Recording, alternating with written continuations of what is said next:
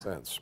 It's uh, one of the grand holiday traditions in downtown Detroit. It's the construction of that giant red Salvation Army kettle downtown. Yeah. The symbol of seasonal giving returned today, and as our Kim DeGiulio explains, giving just got easier to do.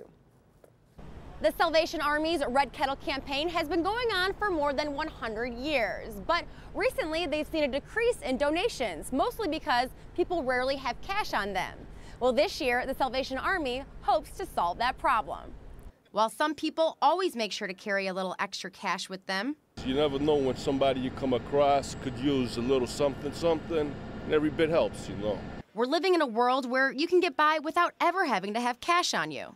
Not often because I use mostly card. But now this year, when you see those bell ringers out at the mall or your local grocery store, you don't have to feel bad about not having any cash. We're looking for people to have another opportunity, another way to give. Because those Salvation Army kettles now have a scan code on them that will direct you right to the Salvation Army's donation page. And you just tap your phone to the um, little sticker that's on the kettle. Metro Detroit has a goal to raise $8 million this holiday season.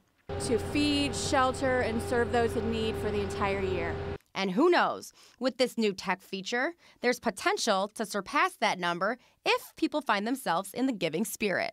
Yeah, I think they'll definitely get a lot more donations that way. The biggest kettle in the United States has just gone up, which means it's time to start donating. You can find those red kettles and those scan codes in your neighborhood or right here in downtown Detroit.